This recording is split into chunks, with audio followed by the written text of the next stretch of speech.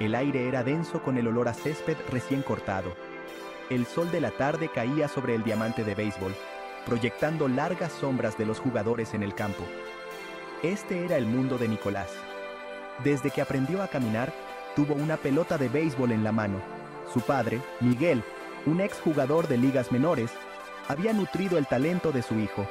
Cada swing, cada atrapada, cada lanzamiento tenía el peso de la expectativa. Nicolás vivía y respiraba béisbol. Su habitación era un santuario al deporte, empapelada con pósters de jugadores legendarios. Se sabía sus estadísticas de memoria, sus historias grabadas en su mente. Soñaba con algún día unirse a sus filas, con escuchar el rugido de la multitud mientras bateaba un jonrón para ganar el juego.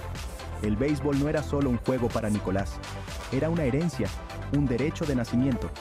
Miguel puso su corazón y alma en entrenar a su hijo. Cada tarde practicaban bajo la luz que se desvanecía, el golpe rítmico de la pelota contra el cuero, una sinfonía reconfortante. Nicolás sobresalía, su talento natural perfeccionado por el entrenamiento implacable de su padre. Era el jugador estrella de su equipo de pequeñas ligas, su nombre susurrado con admiración y envidia por sus compañeros. Pero bajo la superficie de este cuadro idílico, una semilla de descontento comenzaba a brotar en el corazón de Nicolás. Una semilla que susurraba sobre sueños diferentes, sueños que iban más allá de los verdes campos de la aspiración. Nicolás era un natural. Se movía con una gracia sin esfuerzo. Sus lanzamientos encontraban su objetivo con la precisión de un láser. Su swing era algo hermoso, un arco fluido de poder y delicadeza. Podía batear para promedio, podía batear para poder, y podía cubrir su posición con los mejores. La voz de su talento se extendió más allá de su pequeño pueblo. Los cazatalentos comenzaron a aparecer en sus juegos, sus rostros grabados con interés profesional. Los reclutadores universitarios llamaron, ofreciendo becas como señuelos brillantes. Miguel se regodeaba con la gloria reflejada del éxito de su hijo. Este era su sueño hecho realidad, su legado asegurado, pero Nicolás sintió una creciente inquietud. Las ovaciones de la multitud, que antes eran música para sus oídos, ahora sonaban distantes y huecas. El peso de la expectativa, que antes era una motivación, ahora se sentía como una carga sofocante. Estaba viviendo el sueño de su padre, no el suyo. La verdad era que el corazón de Nicolás anhelaba algo diferente. No le atraía el rugido de la multitud ni la emoción del juego. Sus pasiones estaban en otra parte, en el mundo de los números, las ecuaciones y la elegante lógica de la ingeniería. Mientras su padre soñaba con grandes slams y anillos de campeonato, Nicolás soñaba con imponentes rascacielos y máquinas complejas. Devoraba libros de física y matemáticas, su mente cautivada por el intrincado funcionamiento del universo. Jugueteaba con aparatos electrónicos viejos, desarmándolos y volviéndolos a armar, cada éxito alimentaba su deseo de crear. Pasaba horas en su habitación, rodeado de placas de circuitos y cables, un mundo alejado del campo de béisbol. Construía robots rudimentarios, programaba juegos simples y soñaba con algún día diseñar estructuras que tocaran el cielo.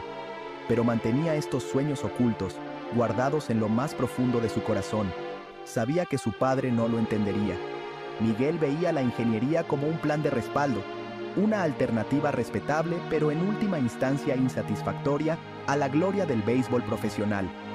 Así que Nicolás siguió la corriente, enterrando sus verdaderas aspiraciones bajo una montaña de entusiasmo fingido.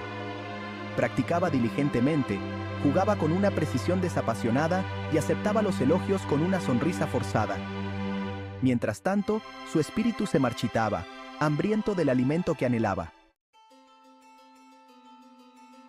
Miguel había puesto su sangre, sudor y lágrimas en la carrera de béisbol de su hijo. Cada swing que daba Nicolás, cada atrapada que hacía, era un testimonio de la creencia inquebrantable y el esfuerzo incansable de Miguel. Veía en Nicolás la oportunidad de revivir sus propios sueños desvanecidos, de lograr indirectamente lo que a él mismo se le había negado.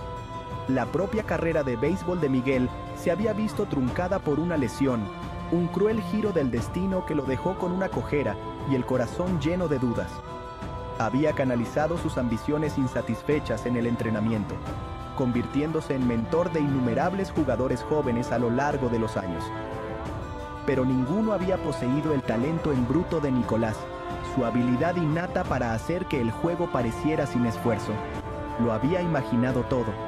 Nicolás reclutado directamente de la escuela secundaria, un bono por firmar de varios millones de dólares, una carrera en las grandes ligas, su nombre grabado en los anales de la historia del béisbol.